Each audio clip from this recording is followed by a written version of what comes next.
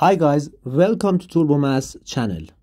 Can you solve this question? 2 times 4 plus 3 times 1 minus 2 divided by 4 divided by 2 plus 2.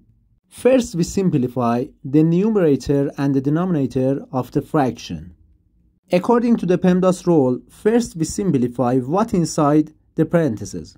PEMDAS shown the priority of the mathematical operation in the parentheses, we have one multiplication, one addition, and one subtraction.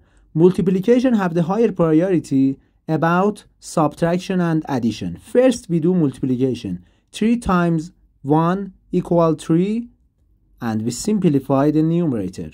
In the denominator, first we simplify the division.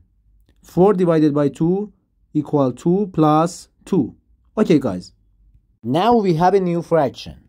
In the numerator, first we simplify what inside the parentheses. 2 times 4 plus 3 minus 2 equal 5. And in the denominator, 2 plus 2 equal 4. Okay guys, let's simplify. Numerator equal 10, denominator equal 4.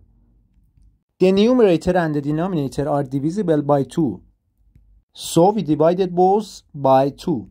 Numerator equal 5 and denominator equal 2.